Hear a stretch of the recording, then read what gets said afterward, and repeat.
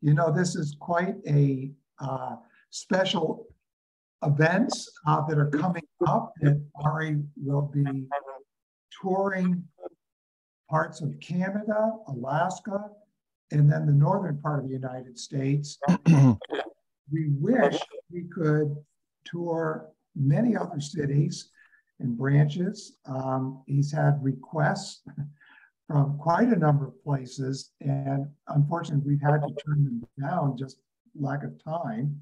Um, but uh, I first met Are. Um, gee, what was that? Back in I think 2017, and then 2018, uh, MISTEC had a conference in Ann Arbor. Um, MISTEC stands for the Mysteries of Technology, and uh, Are participated in that as well as he had in one of the early study groups that we had. Um, and I became very excited by things that Are was able to do. Um, it seemed to me that as we were beginning to try to dabble into the three occultisms that MISTEC was trying to venture into the mechanical occultism, that Are was trying to venture into the hygienic occultism. And there's still, we're hoping to find a third person who really is leading, you might say, the uh, efforts to develop a eugenic occultism. And of course, these would be very, very uh, nascent, you know, their beginnings. Um, and these won't reach their full potential for probably many centuries, but the work has to begin now.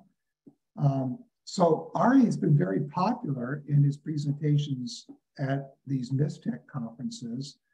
Um, in fact, uh, one of them has stuck with me for a long time, and several of us have tried to work with some of his indications that for me come right out of the statue that Steiner uh, did, the representative of man, where we see as we face this, the uh, this representative of man on the left, Lucifer and Ahriman sort of together, and then under the influence, this separating of Lucifer and Ahriman. And Are brought this to our 2018 conference um, with this grasping that we can, with our consciousness as human beings, bring that gesture even into mechanical devices to mitigate their harmful effects. Um, and since that time, Are has been very prolific, writing, I think it's up to about a dozen books now. And um, he's been doing workshops uh, in many places in Europe. And so we're trying to bring him here to this country. Um, it's also very interesting. Just recently, uh, as a matter of fact, today, we had kind of a scare that uh, Are might not be admitted into the United States, even though he has had COVID four times in one vaccine. The requirements are for two, it seems. And so we've been working out all of that. Um, but in one of these uh, occurrences of having COVID, Are was, um, you know, in this very sick state, was able to have an experience that, for uh, as he will be describing some, an opening for him of uh, spiritual sight into the three elemental kingdoms. So uh, this has led to more work um, on what was indicated by Steiner about the Northern Way, and this has led him to work understanding the archangel, and we pronounce it here, um, Vidar, it might be some of you Vidar, and also the mythological god Baldur. So um, I'll leave most of this for Are, but he's going to give a, a preview of what he'll be talking about in this tour. And part of his tour is to speak to the MISTEC conference. Um, Frank, are you on? If you are, could you say a word or two about the MISTEC conference? Uh, the conference will be held here and uh, Issaquah live or in person. Uh, essentially, we've had the conference going on for the past two years online, and this year we just thought um, that it needed to be in person uh, because of the uncertainty of next year and the year after that. So we just thought this is the time to do it. Um, and the school wanted to partner up with us, so uh, so it was just the perfect uh, combination of us wanting to do live and the school giving us the space to have it in their really beautiful uh, new school that they have, which is used to be a church. So they have this fantastic auditorium with everything, all the lighting and sound system and whatnot. We're going to have six or seven uh, people come and present live. And one of them is uh, Ralph Tita from Cymatic in Germany. Uh, he's going to be here with um, the CEO of uh, Lautzinga. And um, Louts, and it, what they do is they make headphones like like this one. And they're about $2,200. and we're giving one away uh, for free for those who sign up. Um, and Lautzinga is a supporter of the conference itself. Plus, we have other speakers, and Are is one of them that will be coming from coming to us from Alaska online. And uh, we hope that everybody will uh, will consider joining us for at least online. Obviously, it is quite a uh, trip to get out to Seattle, and we don't expect many to come, but uh, but we do have about 40 that will be there in person. And we do have someone from Spain who is coordinating the whole presentation. So it's going to be fantastic. It's going to be a lot of fun. Uh, I'm having it, even though my, even though I'm going balder and my hair's falling out. it's a lot of stress. Let me tell you to set this up. Uh, but uh, but um, we're really looking forward to having Are there uh, and everybody, obviously, there's 109 people here to, to listen to Are. He's just a fantastic guy to, uh, very knowledgeable about um, um, about these things. So uh, I'm going to, yeah. So Andrew Andrew has already um, put out there the. I, I put out on your chat a uh, $50 off for all the people here today, if they want to join the conference, there's a link there that'll get you a $50 off discount. So let's uh, bring Are on now to tell us about his speaking tour and the topics that he'll be covering. All right, let's turn it over to you, and then we can have some Q&A at the end of this. So, all right. and you're on mute.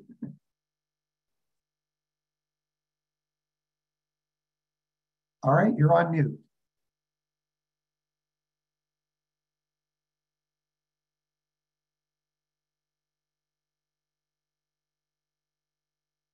There we go.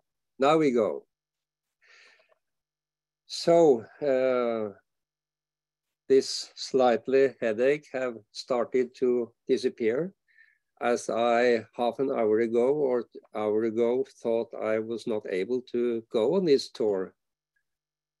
You know, I have uh, planned and I have bought tickets for uh, two, three, four thousand dollars in America, Canada, Alaska, and then suddenly they said that um, we don't accept the European uh, Corona uh, license certificate, so you have to have more of this or like that. And then I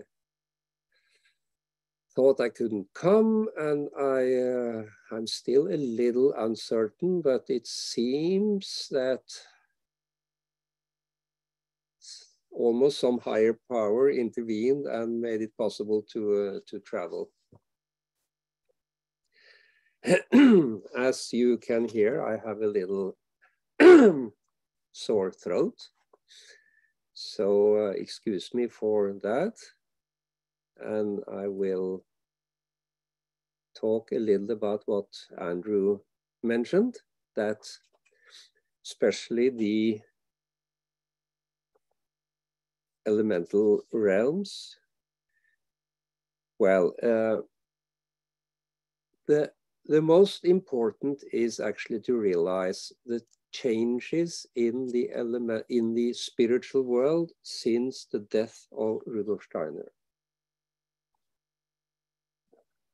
It is interesting to read the diary of Hilma af Klint, which is a Swedish artist that showed her pictures to Rudolf Steiner, and Rudolf Steiner was quite upset and said you should not show them to anybody until 1950, which she of course did. Um, but the interesting thing is when I saw these pictures, they were uh, they were taken out of the elemental world. And this part of the elemental world opened around 1950. So you might say in 1950, this special realm became uh, possible for human beings to travel through. Uh, the the, you might say, the more superficial realm of the elemental world was fully opened in 1879, uh, where, uh, according to Steiner, the divine forces led by Michael uh, won a victory over the dark forces, and the dark forces were thrown down on the earth into the human realm, sort of. And what is the earth? I mean, the earth, the physical creation, is and Maya an illusion for the elemental world. So from that time, a part of the elemental world was open. And those who then brought knowledge from the other parts of the elemental world, as there are three parts of it, the third, the second, and the third realm. Uh, they were premature, and Steiner urged them not to talk about it or show pictures from that area. And he also talked reluctantly about these things, and the deeper you come into the elemental world, the less at that time in 1910, 20, uh, the, the less he talked uh, about it freely, you might say. And um, this second realm opened in 1949. And that is quite interesting because it seems that Steiner very well knew that. So he asked uh, Hilma af Klint not to show these pictures until 1950. And there were, is still a deeper realm of the elemental world, which opened 70 years later, you know, from 1879 to 1949, 70 years a magical number when it comes to the physical creation. And then 70 more years, 2019, where the deepest realm of the elemental world was fully opened for human beings to travel. So um, this, this third realm of the elemental world is related to form beings of form, elemental beings of form. And as they have a certain form, they are mostly dominated by Luciferic forces. And in this realm, I have been living since I was five, six years. And in this realm, you can develop hygienic occultism, which I then did through my whole life as a therapist, as a veterinarian, as a doctor, and found this is uh, something that can be talked quite much about. and, and earlier, I, I, uh, I use most of my speaking time or course time to describe this third realm and the how to do the uh, hygienic occultism. But the most important thing, the, the thing that really is important to do this is to bring Christ into this realm. Uh, we have but one obligation in this world now, and that is to bring Christ in to the elemental realms, to the Luciferic, Ahrimanic, and Asuric beings, and in that way re, uh, save, to spiritualize uh, this world, the elemental world.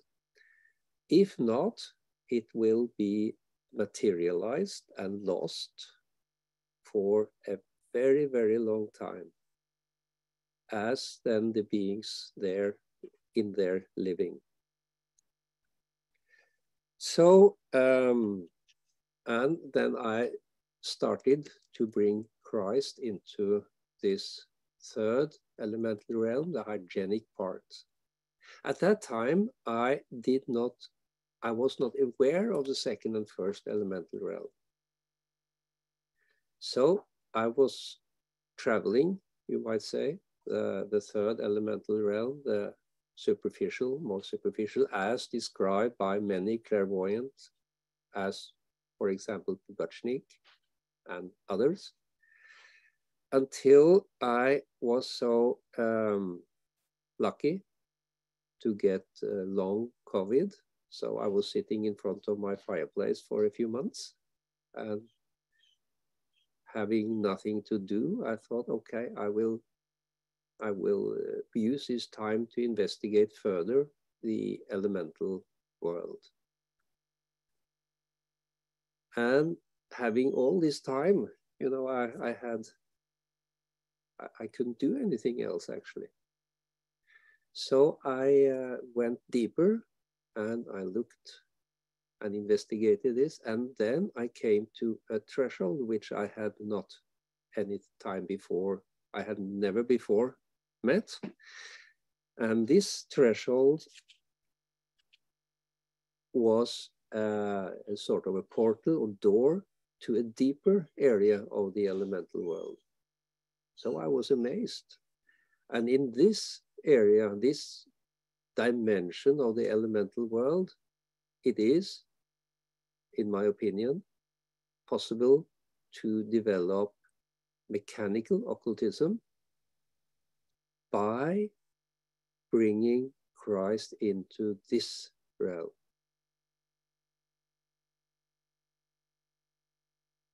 And I think to construct machines or vibrations or these things without having gone into the second realm I think it is impossible. So when you read about Keely, Keely's car in America, this machine he made, which was activated by certain vibrations or instrument tones, that is only possible if he went into the second realm, as also Hilma af Klint was able to. And I think also the uh, if you read about this uh, Austrian water um, wizard, uh, Victor Schauberger, he was always also able to travel into this second realm and as such able to do the things he did. And nobody else have been able to copy. So it's not the construction or technological, and, and it is actually yourself that has to bring forces from the second realm. And by these forces, make machines work. And there you have two possibilities. You can bring these forces into work without the Christ or with the Christ. In hygienic occultism, if you make these forces work without Christ, it leads to a translocation of the diseases. You push them over to others. A translocation. You don't transform the diseases, you don't actually heal, you just push them over to others. This, with the force of Christ, you can transform the diseases and not just translocate them. And this is also possible in the second realm. If you bring the Christ forces in there, you have a certain power over the molecular uh, function, the the stuff itself, not like diseases or disease spirits and demons and so on, but over the molecules, the atoms themselves. And it is possible to bring this Christ force into the atomic force. And by such, start to develop mechanical occultism. But I think you have to go there first it is all in vain to construct these machines before you do that. So traveling this second realm for some time, I, after a month or two, I came to a new threshold. So as Andrew said, I had a vision of the spiritual world or the elemental world. It was not a vision, it was actually really scouting, walking through it and exploring for weeks. And then I came to a deeper, and in this deeper, I met the, the, what is called the first elemental realm, the elemental beings of death and birth. The elemental beings that Steiner described as genuinely evil or the only uh, the only elemental beings that are evil and they belong to the Asuric part of the elemental beings. And in this realm, which has totally other powers than in the third or second, in this realm, you can actually bring also the Christ in. And by such, do eugenic occultism um, with or without Christ, which will be black or white magic. So, going, having going through all this, took some months. Then I reached another threshold beyond the first realm, the deepest realm of the elemental world. And there I came to an area where there was a huge guardian on the threshold, which I had no idea who was. I thought maybe it was Mikael. So I asked him directly, Who are you? And he said, I am Vidar. And this on my left side is Balder. I knew this from the uh, Edda, the Nordic mythology, of course. But uh, I did not actually know so much about what Steiner have said about it. but then I started to investigate, especially of the cycle of the spirits of the folk, folk spirit cycle, where Steiner very clearly say that uh, Michael is in the process of not becoming, that was in Steiner's time, of not becoming an archangel, but will be elevated to an archai, which is a gradual process. And another being will take over his work as an archangel. And this being is Vidar. And he also described Vidar as very closely connected to the Nathan soul of Jesus and also to the Buddha, Nirmanakaya of Buddha.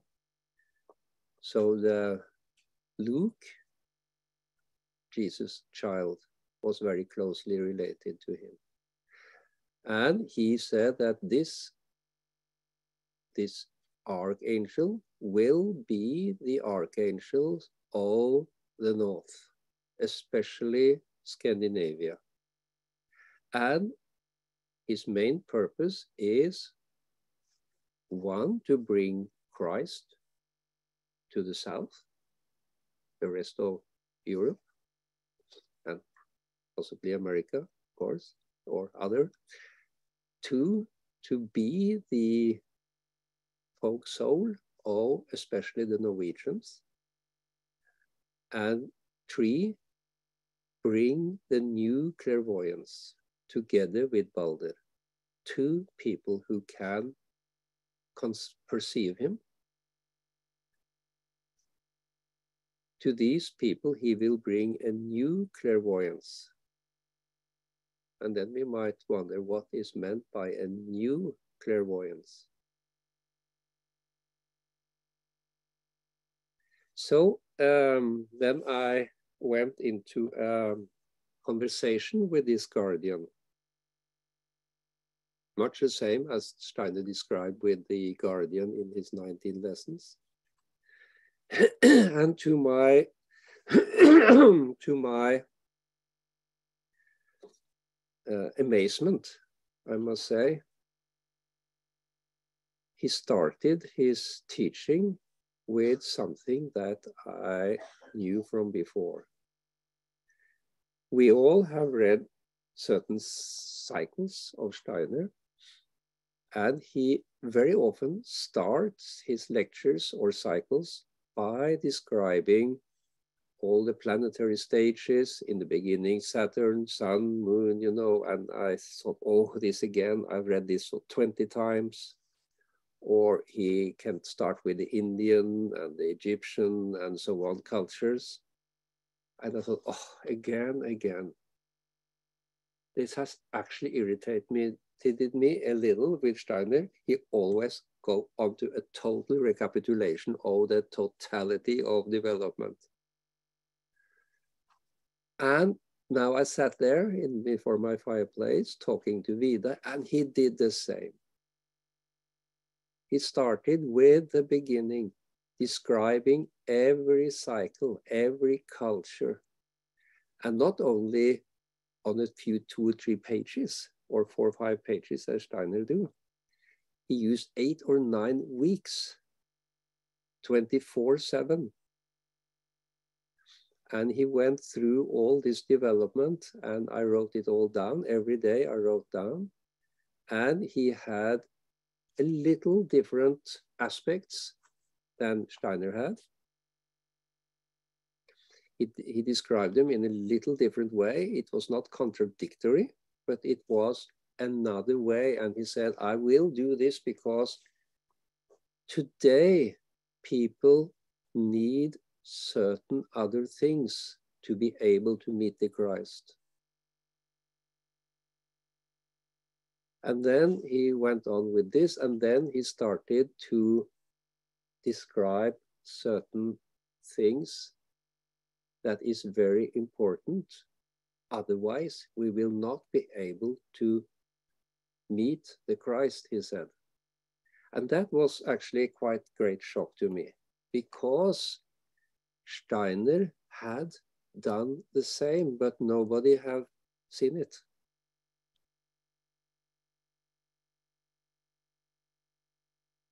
You see, one of the most important cycles Steiner gave was the fifth evangelium, the fifth gospel.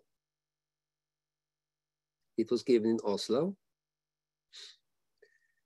And he was, uh, those of you who have read these lectures and also read about them, know how excited Steiner was about being able to give these lectures. He, he, he, he was really excited. And one thing that Steiner uses four or five pages to explain, and that is uh, the last part of the fifth lecture and the first part of the, the last part of the fourth lecture and the first part of the fifth lecture, where Steiner described a very important thing that happened to Jesus of Nazareth in his 30th year.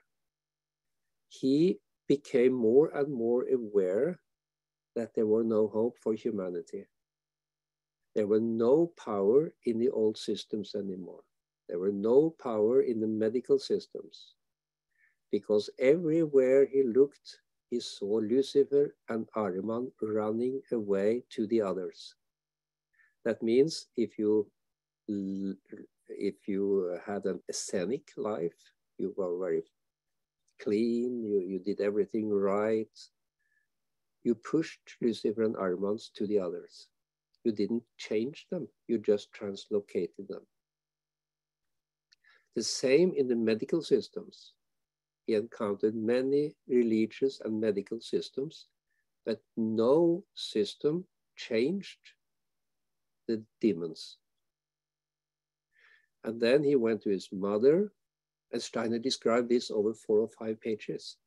He went to his mother and he told her about this, according to Steiner, a very famous conversation. And then after doing that, he was able, according to Steiner, to go to Jordan and receive the answer to his problem, to his great uh, quest, the Christ.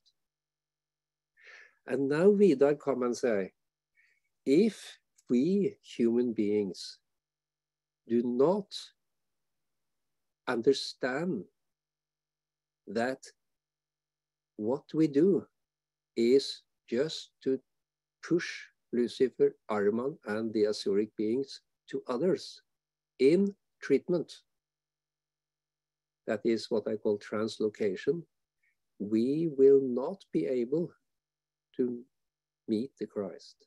This is so important because Christ is actually the only force that can transform the demon, the demons, the adversarial beings. No other force can transform it. That is a sort of the essence, one of the essence of the Christ. and for me, this was uh, quite shocking actually, because that means that all treatment with doctors, veterinarians, craniosacral therapists, homeopaths, and so on, they translocate the diseases. They don't transform it because they do not bring the Christ into it. And I took Vidar's word very serious and said, yes, this is very important that we discuss. So I contacted the medical Vorstand in Dornach and said, this is something we must bring out, this knowledge about translocation and transformation.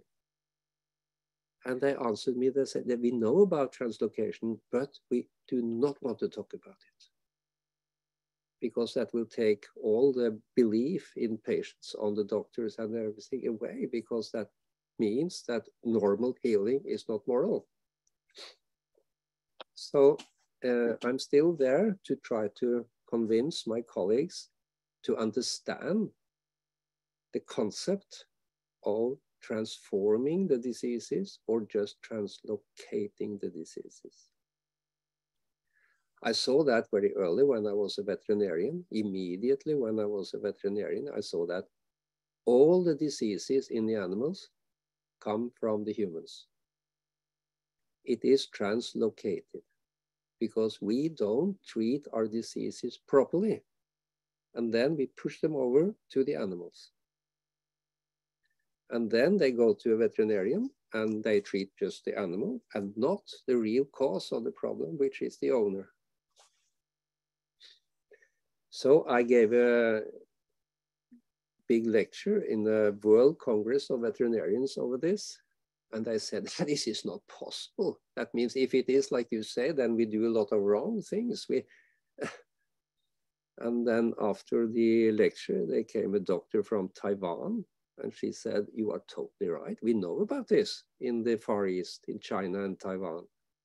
We know about this, but we don't tell you in the West. and she added, added that uh, the more, but we think it is not unmoral to transfer diseases over to animals. We think it's okay because animals are lower than us, so so we have a different moral than you in the West which I actually already knew that the, the view on animals in the East is very different actually from the West. The care for dogs or chicken or and so on.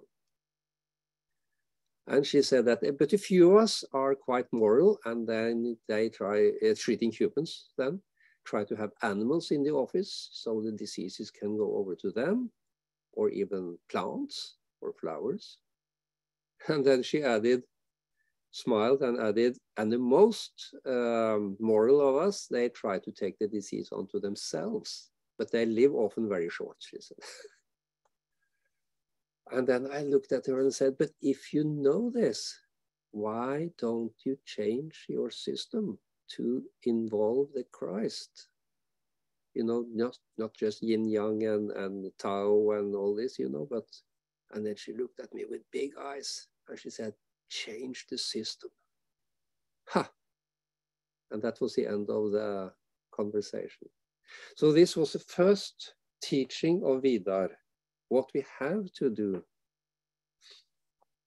The translocation, understand this. And then he went on with teaching after teaching after teaching. I've written it all down in two books and I'm still writing it down. And after having taught me the most fundamental things, he was open to questions, which I have to get from others. Andrew gave me a question one time, which I asked him, which will now be published in the book in uh, August. Um, so then he, at a certain time, he gave the word to Balder, the bringer of the new clairvoyance, according to Steiner, and according to Vidar, and according to Balder himself. and uh, during some weeks, he showed me or explained me or demonstrated even in my own head that the new clairvoyance is not clairvoyance it is clairaudience. And then I was also again shocked. So I went back and looked in the Steiner text where he talked about seeing Christ in the etheric. And then I found that he mostly do not say see Christ in the etheric, but hear Christ in the etheric or feel Christ in the etheric. And then I discussed this with a friend of mine in Finland, the former uh, leader of the Finnish Anthroposophic Society. And he said that uh, Valentin Tomberg had actually said exactly the same. We have to get away from clairvoyance because in the sight, the adversarial forces can come in and go over to the hearing where the adversarial forces cannot enter. And he explained, Valentin Tomberg, from information from Steiner, explained that with the um, streams from the zodiac that helps the sight or helps the ears, and which streams that the Luciferic and Ahrimanic forces can enter and where they cannot enter. So we have to change a lot of things, he said, to be ready for receiving or perceiving the Christ today, 100 years after. The way to the Christ is different. It is through the elemental realms, which were sealed at the time of Steiner. Now they are open.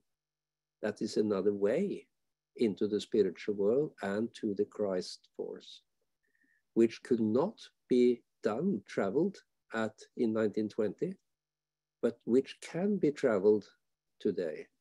And that is what I call the Nordic path of initiation. Because Steiner did describe the way. And it is belonging to the macrocosmic path and the Nordic path, not the southern, not the western, not the eastern, not uh, the central, but the Nordic path of initiation specially described by Steiner. He wanted to describe it in Russia in 1912, but he was hindered to go there. So he ended up in Helsinki. And there he described it in 1912, the Helsinki cycle, how to reach the Christ through the Nordic way.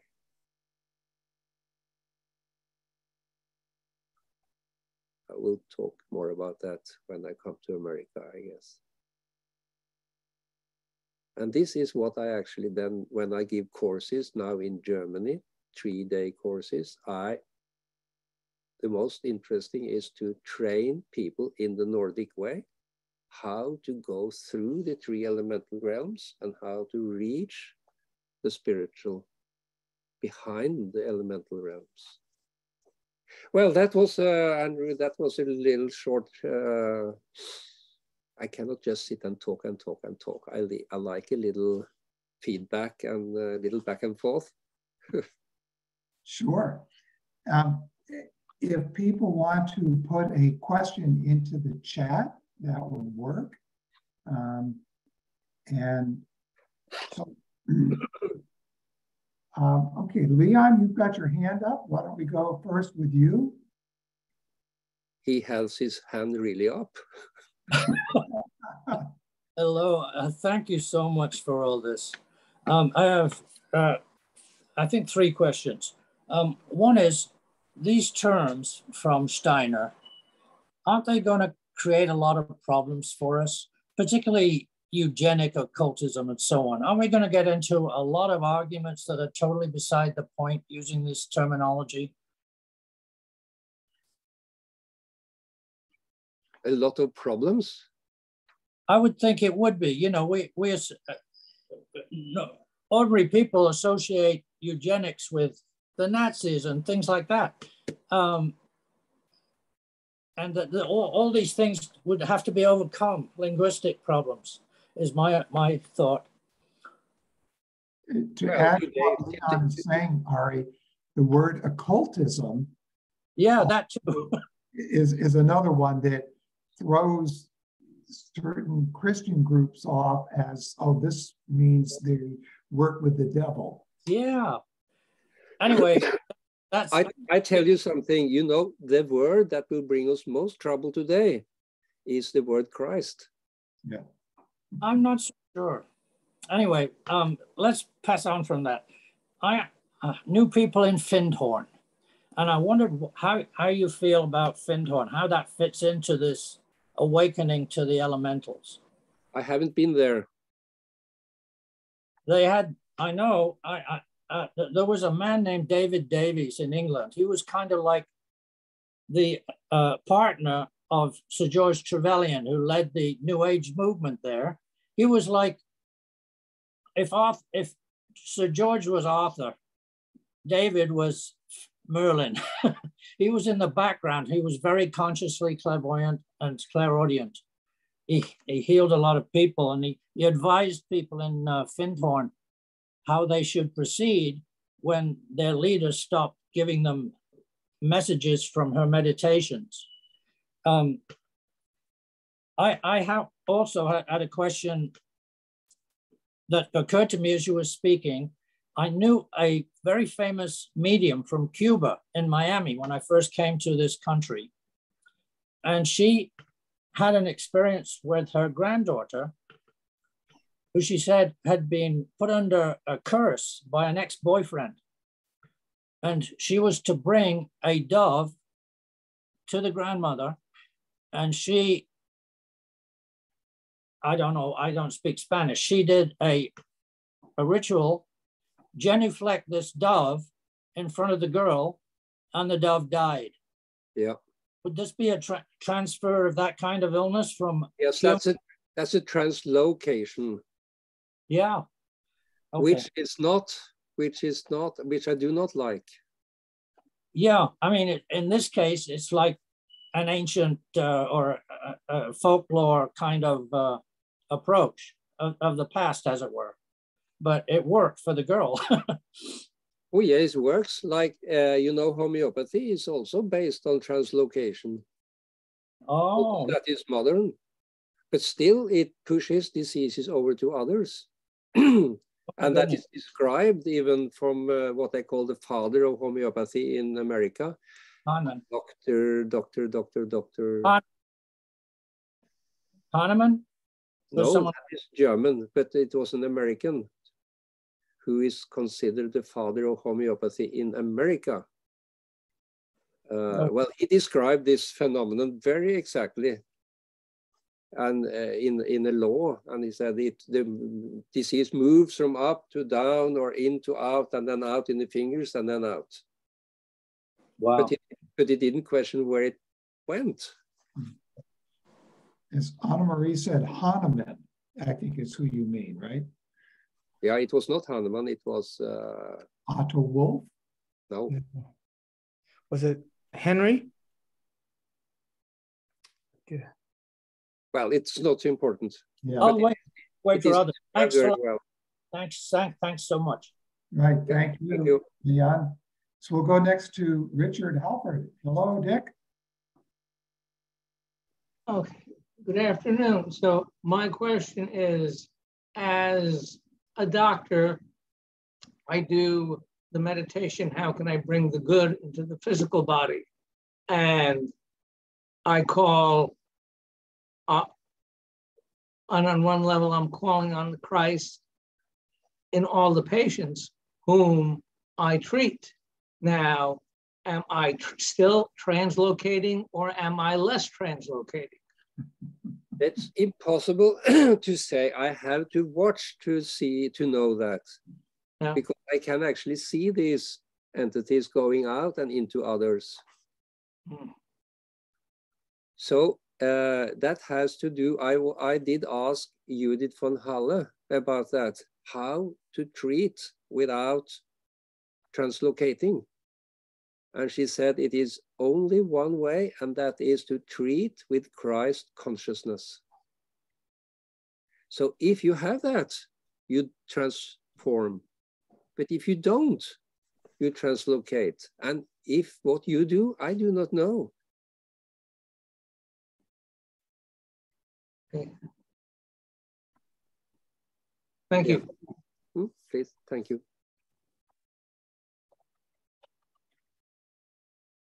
Any other questions at the moment? Um, Stuart, Summer?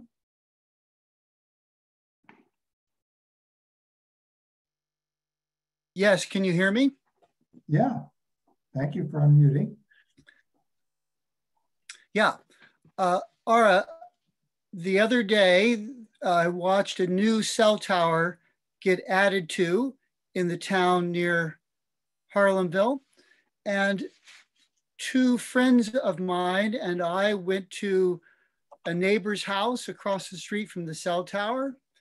And we uh, prayed forgiveness of the Luciferic and Ahrimanic beings or the elementals who are entrapped there as Luciferic and Ahrimanic beings. Yes.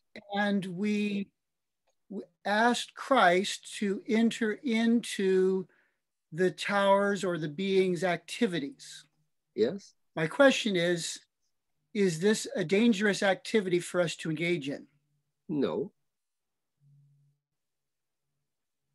I have never seen any damage when you ask Christ to enter.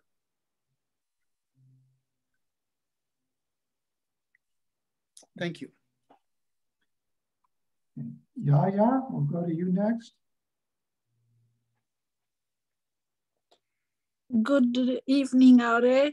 Um, my question is, can the patient, instead of the doctor, be um, the, the, the, the vehicle for the transformation of the disease? Absolutely. And how does one do that?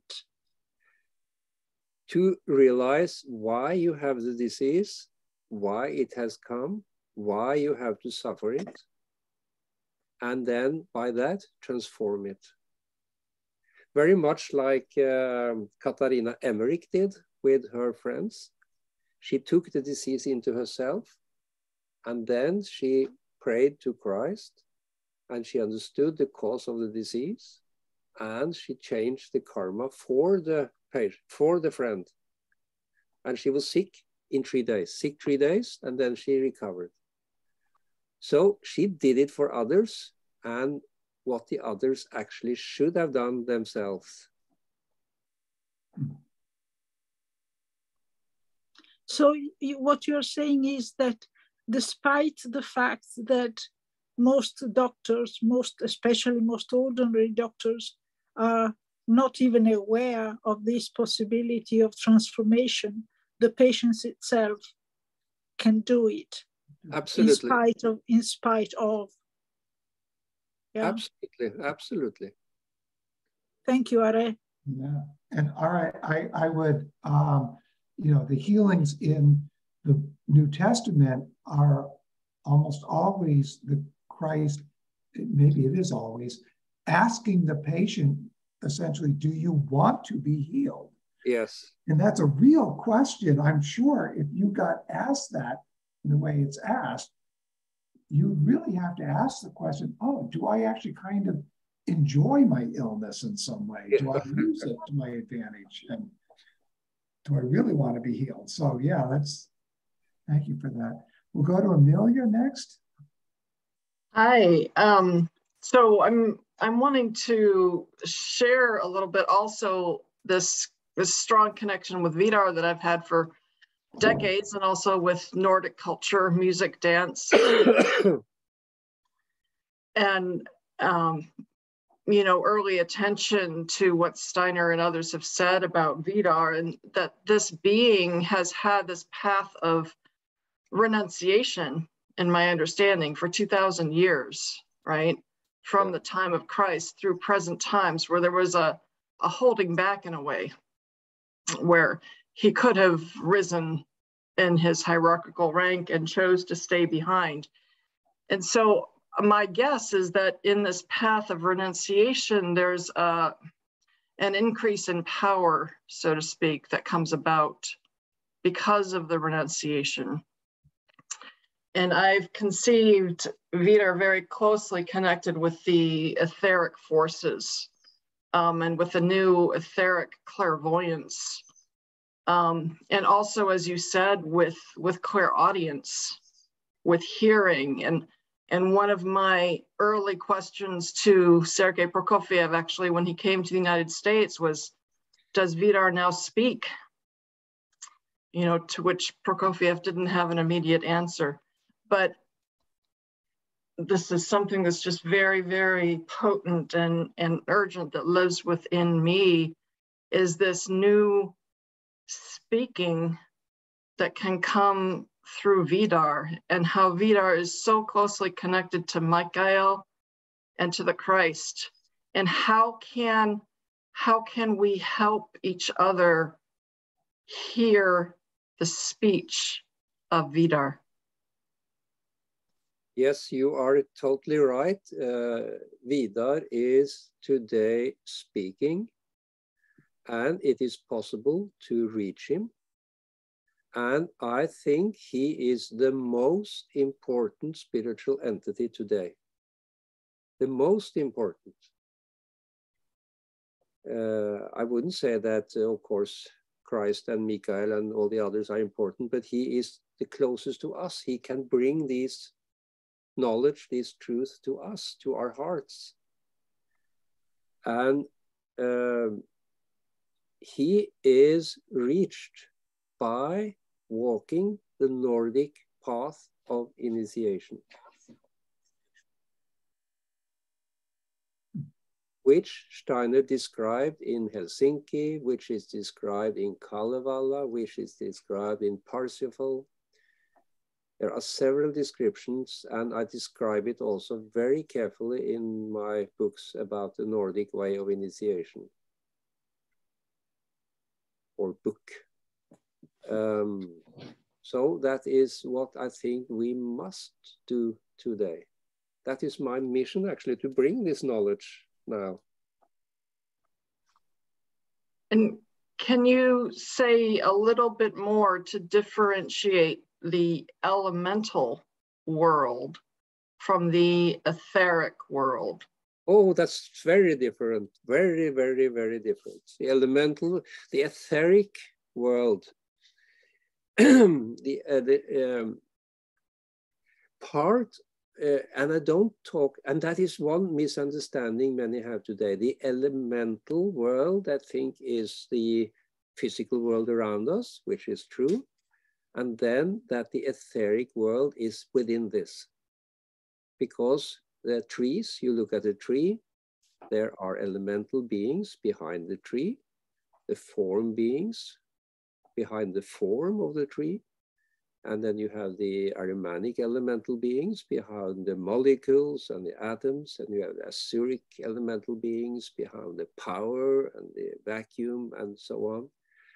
And all this is flown, uh, is penetrated by the etheric force so that makes the tree alive. But this here, it is what I could that is what I call the inner etheric, the, the sort of the elemental etheric. But when you reach the outer through the etheric, then you reach a pure world of pure etheric. Um, it is so interesting to mark uh, the inner etheric is like flowing crystal water. The etheric flows through the branches, through the animals, through ourselves. But when you come to the outer, through the elemental worlds and to the outer etheric, then it is like filled with clouds. And then I realized that in the uh, and in the Acts in the Bible, when the Christ is moving up to the spiritual world, he go up into the clouds. That is the outer etheric. Hmm. And these two angels tells the apostles, the disciples, that he will come back in the clouds. And that means we have to go through the three elemental realms to reach this world and bring Christ back into the elemental world. He is not in the physical world. We have to bring him in there. Marco. Thank you. Um, so I have two questions. One is about um, a practice I've just been studying called biogeometry, come out of Egypt, the work of Ibrahim Karim.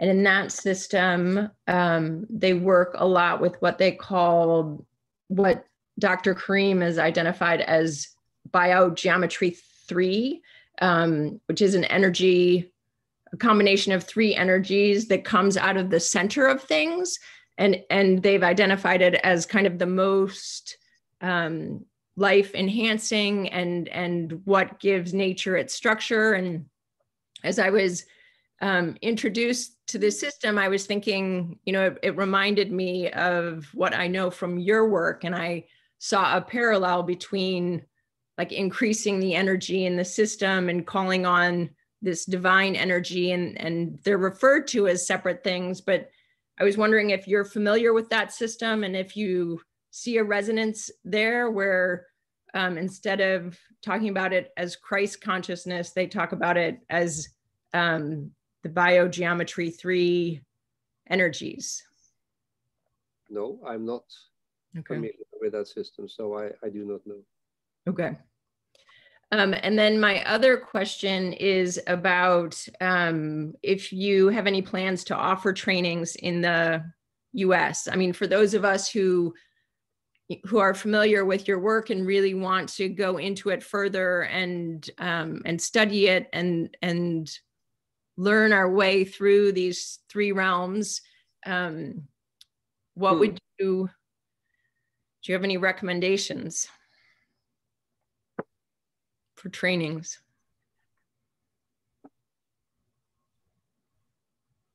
Yeah, well, if I'm asked when I'm there, of course, I will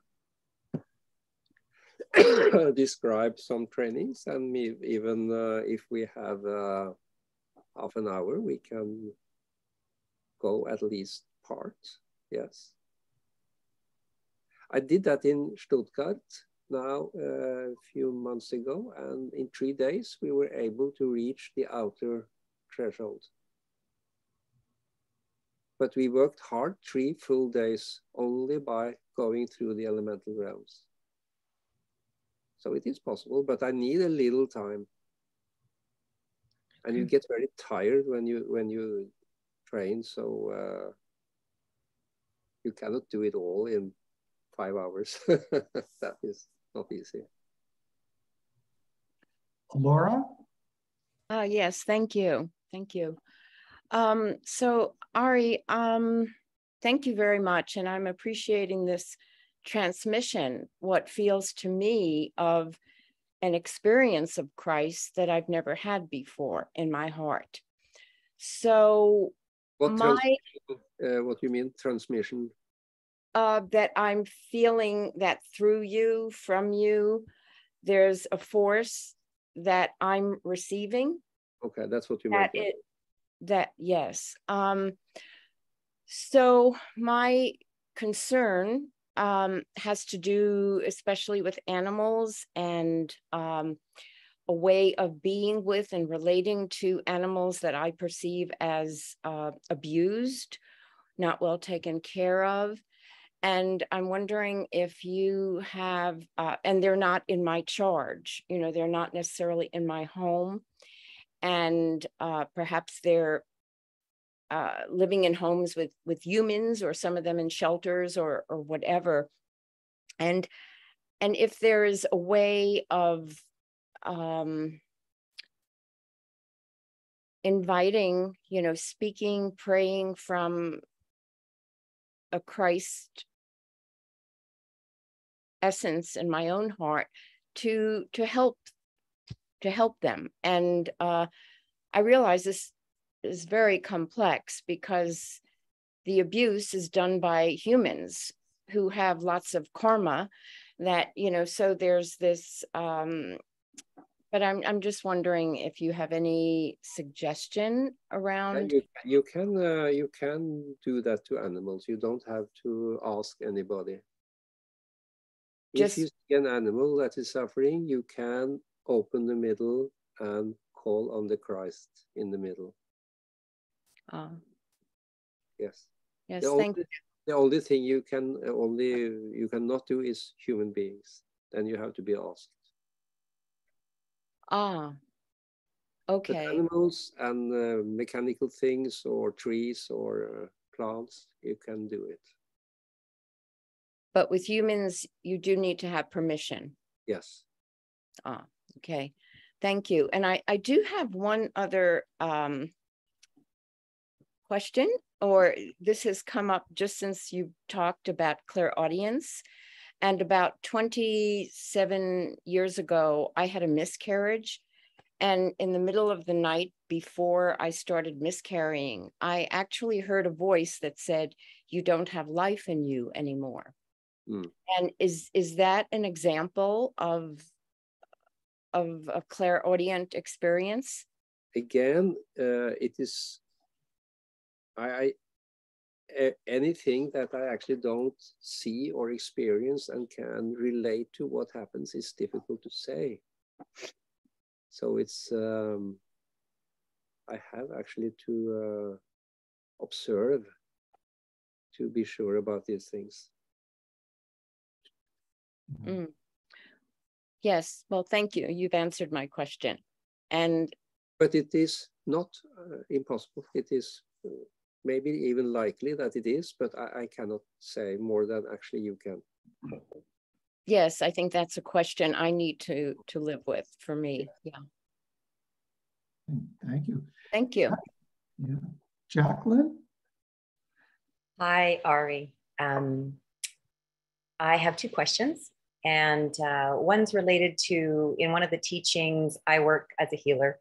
And one of the teachings I was taught was to, as Christ is the spirit of the earth, uh, one way to offer um, anything you're mm, working with in a person is to offer it to the body of the earth uh, as the Christ.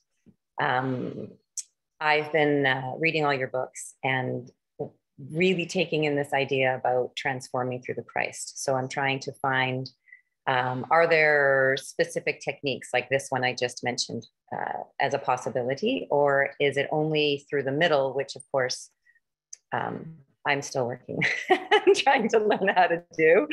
Um, so that's one question. And the other one is Are you familiar with German New Medicine? Um, oh, yeah, I, I, uh, that was my neighbor. oh, Ham- Dr. Hamer?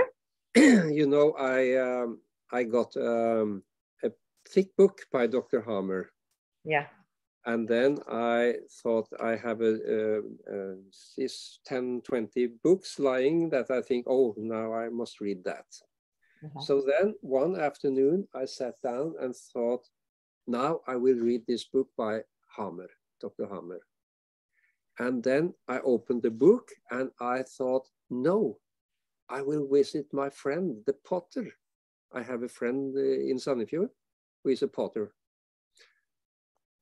And I went up to him to talk and have a cup of coffee. And then he said, You know, I, I got a new neighbor. It's a German doctor.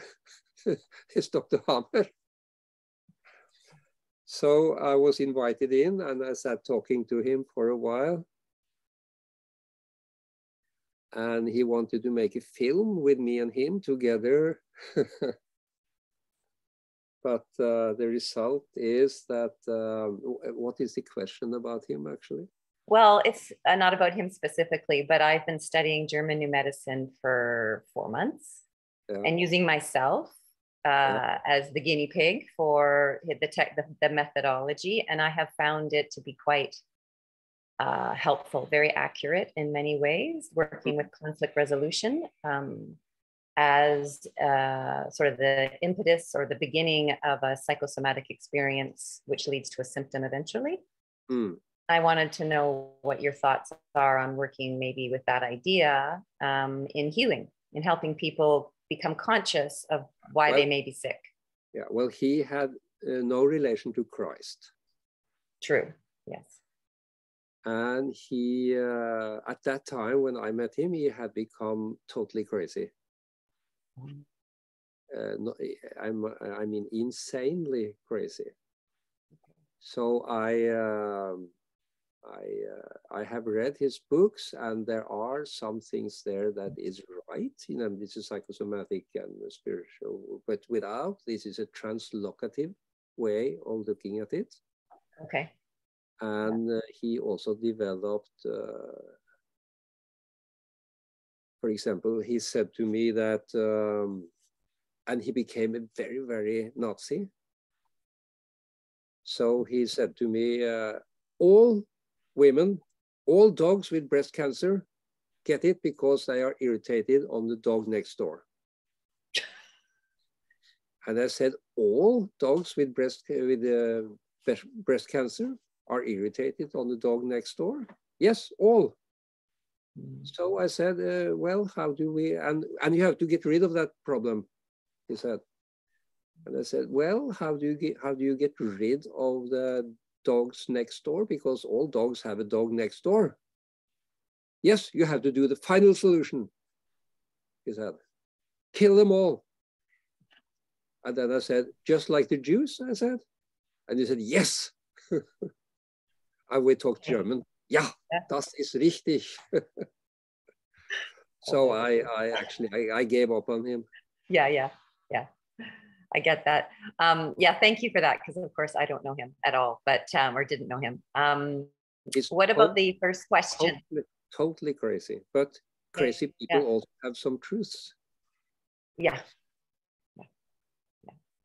Okay, so psychosomatic um, has a place with you bring in the spirit, looking at some uh, disease or illness. No, they bring in in demons. If you have fear, yeah, it creates a fear entity, a fear elemental being, or a fear demon, and this fear demon can create cancer, of course, mm -hmm. or irritation. And then you can get rid of it, and then you transfer it to the neighbor instead. Mm -hmm and he was more on that level. It was no transformative, no uh, love, uh, no uh, transformation, no cry. So I, I, I didn't uh, like his system actually. Mm. Thank you. Hmm. Okay, thank you. This is it's great discussion. Just to let everybody know, we've got about 15 more minutes only. We've got to let Are get a, a decent night of sleep. So we'll try to finish up in the next 15 minutes. Panagiota, you're up next. Panagiotta, Panagiotta, yes. Oh. Hello, hello from Greece. Thank you for this presentation. Uh, well, Are, I would like to ask you, I've read many of your, of your books and I've read about the Christ consciousness and all these things. I would like to ask you, like practically, many of us work with computers a lot. We work a lot with all these powers that come out of the computers and all these things. So how can I practically have this Christ consciousness in my everyday life? How can I keep it? Like, would you like to offer some kind of advice? Like, how can I sustain sustain this consciousness throughout the day? Like, what can I do? Okay, I can pray yeah. and I can. Yeah, you have you have asked. You have asked. And I have been thinking quite much about it. What is the essential thing with Christ? What is the essential of his teaching? Like you're asking me, what is yeah. the essential? Um, not extremes, possibly and love. Love yes, and yes. avoiding extremes. Yes, you have love thy enemy which is very central. And also, uh, let's say you turn the other cheek. If somebody hits you here, you turn the other cheek. And I, it took me very long time to understand that. You see, when you go directly onto something, a spiritual being, if you look directly at it, if you treat it as an enemy, for example, you look at the 5G mast.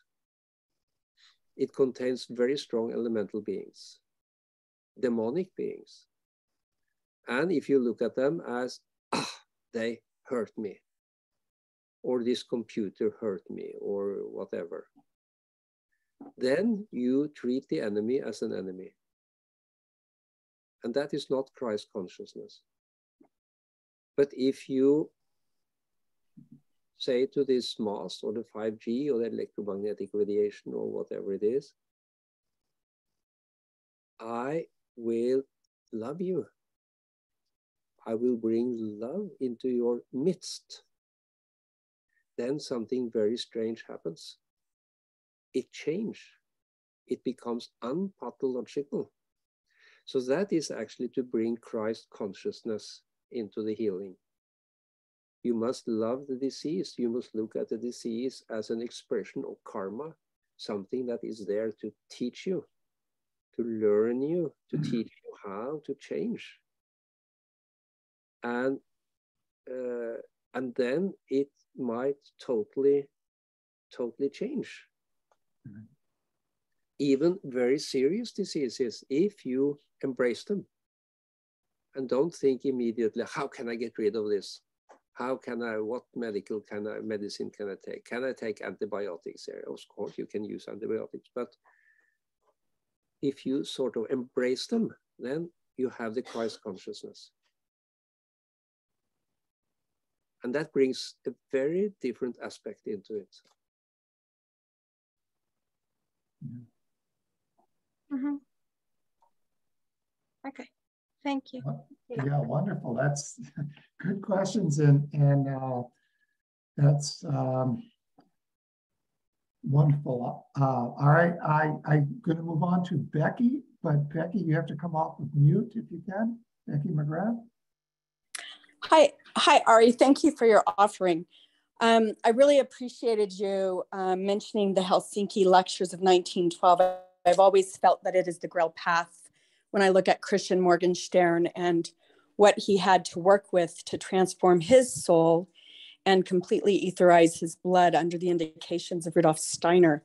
I yes. think there's something really holy about that this was also given to the Russians that were there in the private lectures he gave to them, mm-hmm. um, and also the Kabbalah and all those other lectures that were there. Uh, it seems to me that this also, this description that you're describing of the transformation through healing through the Christ consciousness, um, also relates to um, what um, Rudolf Steiner explains to us by Francis of Assisi in the foundations the spiritual foundation of morality, where he mm. also, when he healed people from leprosy, also looked at their karma first and was in dialogue with them. And um, and this all these healings were done through the Christ consciousness, through the moral forces he had developed, which the morality, these forces are directly connected to Vidar, is my understanding.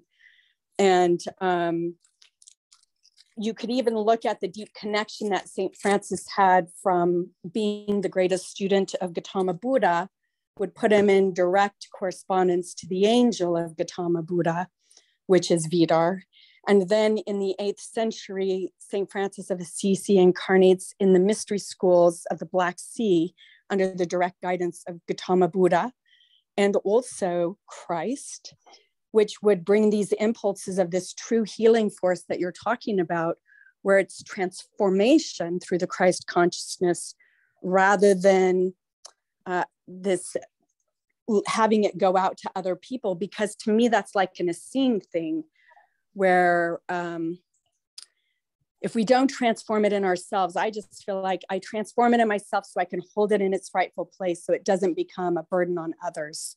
And that's the most important part of this, rather than being so pure that you push it out of yourself where it goes into others or you don't even recognize that it belongs to you. And some of this also seems, and I'd love to know your thoughts, part of the task of us meeting the lesser guardian of the threshold is for this transformation to happen um, through a Christed path of consciousness and knowing what is ours and being responsible for it karmically in this transformation so that we not only help transform it, but that it also can help the earth. So I'd love to know your thoughts on that. Yes, uh, you summarized actually totally what I think. So I totally agree with you. But what I thought when you were describing my thoughts on hygienic occultism, which is actually what you describe now, is that the same goes for mechanical occultism.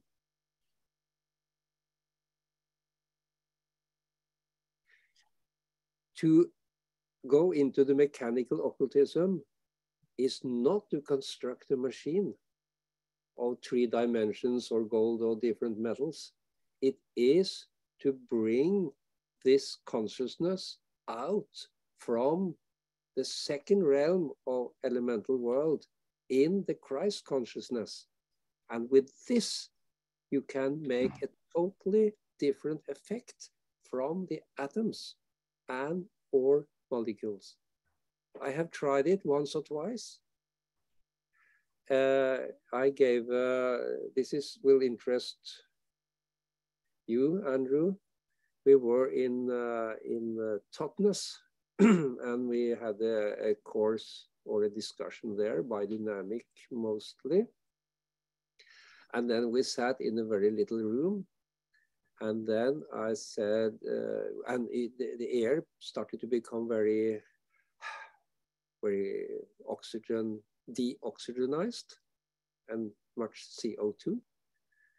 So I, I said to the participants, about 25, now we will do an uh, try because you see in this area it is possible to do some mechanical occultism in the west southwest of England. This was Cornwall area, Totnes. And then we did not go into, as we do in hygienic occultism, then you go into sort of the body and you watch the Luciferic and the Ahrimanic and the Asuric and you make space for Christ in the middle. And then the Christ force can stream into the, the disease sort of and change. But we, we went into the, the second round, into the oxygen atoms and made the same space for Christ there and everybody breathed so much lighter. The air changed by doing this with the oxygen. So I think this is very important. And when we in the future or later or whatever, when it is, go into the first round, then do the same there. Then we can influence the eugenic uh, powers or occultism. I think it all has to do with bringing Christ into the elemental world, yeah. which is the adversarial world. So hopefully we'll be talking more about that all right, when you're in uh, Wilton, New Hampshire, and Ghent, New yes. York, and Boston. So yes, and we can also demonstrate it. Yeah. Well, also is um, just to add for me, from my experience working with all that Rudolf Steiner brought in the healing arts, I do believe that these healing arts that are coming out of anthroposophical endeavors absolutely correspond with the Christ consciousness, whether it be eurythmy or the speech arts or the painting therapies that they've developed, that it does mm-hmm. work um, in this way very consciously. And and just to remember that Rudolf Steiner said that the karma has changed. So when we can work on these things in our in us and transform it in us, it also helps the rest of humanity as well, because Christ has um, designed it in such a way that we can also help, um, even if people are not able to go into those realms, you know, in the way that you're describing, there are other ways people can help on whatever level they're working on with the Christ consciousness in the healing in the world. So I just would like to add that. That is totally right, because one thing I have observed is that when you do this Christ sort of infusion into something, it spreads. It starts to spread. It spreads physically. Thank you, Becky, for all of that. We'll go on to Anthony Purcell now. Thank yeah. you. Thank you, Becky. Yes, I know. I know time is tight, so I won't be uh, lengthy on this. But Steiner did point out that uh, Vidar was asked to become the folk soul of uh, of Norway. That was his task, and what you just explained today, and thank you, Are, is the reason why in preparation for what's coming. Yeah. And the North, the Nordic mysteries are, are going to play a great part. And part of that, of course, is Vidar's task to lead in the war of all against all and destroy the Fenris wolf, yes. which, which appears to be the old consciousness in preparation for the Christ consciousness which is to come. Could you say a few words about that? But you say it With, so perfectly. Without, without getting like you say it so perfectly yourself. Mm. Uh, you describe it perfectly. I said that I think that Vidar is today, when I mention Vidar to anthroposophists outside Scandinavia, they have, they have no clue what I talk about. They don't even know about him. They think that Mikael is the archangel and Vidar is some uh, Nordic god from the Edda, which is not. He is probably, or he, she, is probably the most important spiritual being today in bringing the Christ.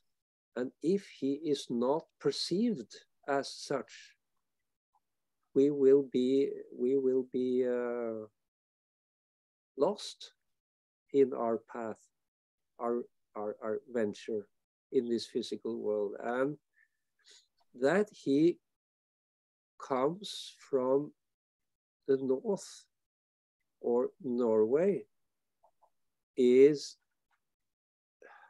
I, I do not know why, actually. That is, but Steiner said that the Norwegians were the people in the world that had the closest relation to nature. And one of the obligations of the Norwegians after death is to teach the other people about the love of nature. Mm -hmm. And uh, Vidar is actually quite close related to this love of nature, which is the macroscopic way.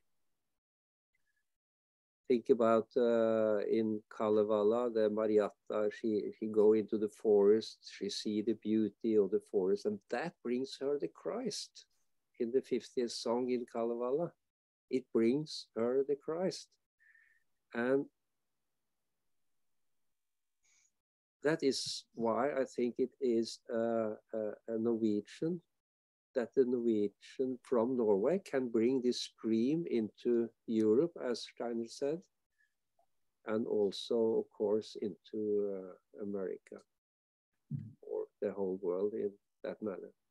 I, I cannot say it actually more than that. Thank you. Anthony, thank you. What, we have time for one more. Peter, you've had your hand up. Yeah,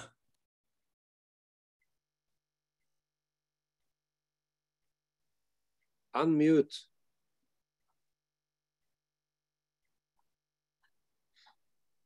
There we go.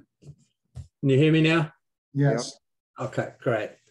Um, thank you. First, I want to thank Are for all that you're bringing to us. Are, the clarity, uh, I think it's very, extremely important.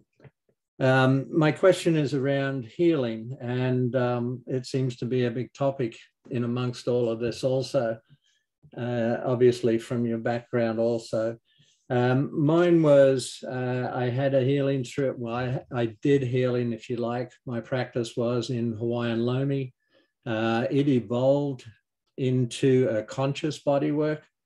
And uh, it very much relates to what you were talking about in that the disease is an expression or a symptom rather than the cause.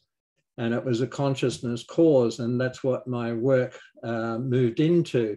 And it was profound in respect that when the individual would access that experience that was locked or, or anchored in the body system and causing that disharmony, uh, that disease, that disharmony would um, discharge, it would disintegrate and go away. But in my practice, I got to a point of a, I'd call it a moral dilemma, uh, in that everybody was looking for me, coming to me to create this healing. And my practice was not about what I was doing, it was just encouraging the individual to find their own conscious experience that was embedded. And when they did, they were the actual healer. It was a very hard thing to get across to people, for them to embrace and actually recognize that they are the healer rather than uh, myself or someone other. And so the moral dilemma was that, well, I didn't feel, it didn't feel right to be healing people as such. And it felt more that it should move to more the uh, empowerment of the individual to be the healer. Now, all of this was, if you like, my background before anthroposophy. I, I, feel it was actually my preparation for anthroposophy. And uh, through the Christ now, it, of course, it takes a whole different, different uh, uh, arena, domain. So my question is, um, when we do these healings, when people do healings for others, are we actually doing them in today's world, in today's level of consciousness? Are we actually doing the individual an injustice, uh, uh, doing them harm in some way, rather than uh, looking for that empowerment or to empower the Am I making sense? It was quite clear. And I do agree with you. I think that healing, like let's say giving antibiotics, needles, craniosacral therapy, herbal therapy, without empowering them, without bringing this transformation in, is actually not helping them at all. Mm. It is the opposite, I guess, because then I have to go through it again. Hmm. Yeah, that was my experience as well with them, that they would come back with the same symptoms, the same um, conditions again. Or and, the neighbor, or the neighbor, or the dog, neighbor, yeah. Or the horse, yes. my kahuna, the kahuna I trained with, actually, he, he talked about that, that uh, we should take on the um, the disease, we get to know the disease, exactly what you were saying. And then rather than this cleansing and, and shaking off and everything, he said to us one time, he said, Where do you think that's going? Yes, exactly. yeah, it's going out. Somebody else will get that. He said, Stop that. Yes. Yeah. But that, yeah, it's that empowerment of the individual. And through anthroposophy now, of course, it's become very clear that um, the empowerment of the individual is really the recognition of the Christ. Yes. And, and opening that relationship with the Christ is paramount. Um, which, you know, I often have arguments with people about uh, the ownership of self. Oh man, know thyself, as Steiner uh, reminds us. So thank you. Um, Thank you. Both, actually, Andrew as well. Thank you, Peter. Um, and I, I just let people know I put the itinerary for Are's speaking tour in the chat. If you want to uh, grab that URL, you can link and see where he's going to be in the coming months. Are, you leave on Tuesday, right, for Toronto? Monday, I go to Toronto, yes. Yeah. Boston and then up to Toronto. So you go from Toronto, then to Calgary, and then on Calgary, to Calgary, and then up to Fairbanks, and then down to Chicago. Right, and then across the northern parts of the United States, yeah. and then finally getting to Boston, where you will fly yeah. back to Norway. So Hopefully. I hope um, those of you who would like to be in person can join us in one of these venues. And with that, I will send it back to you, Andrei. Oh yeah, thank you very much, dear Are, dear Andrew. Thank you so much for a great presentation. So dear friends, um, so the video will be uploaded on our website. Uh, probably you can check uh, tomorrow or Monday, so it will be there. And uh, yeah, thank you again, everybody, for joining us. Uh, please feel unmute your computers and say thank you to Are and to Andrew, and I will finish the meeting. Thank you. Thank, thank you, so much. Thank you. Thank you. Thank you. Thank you. Thank you. Thank you. Thank you. Thank you. Thank you. Thank you. Merci. Thank you so much. Yeah, and good night, Are. Sleep well tonight. Good night. Good night. Good night. Thank you, Andrew. See you later. Yeah. Blessings on your travels.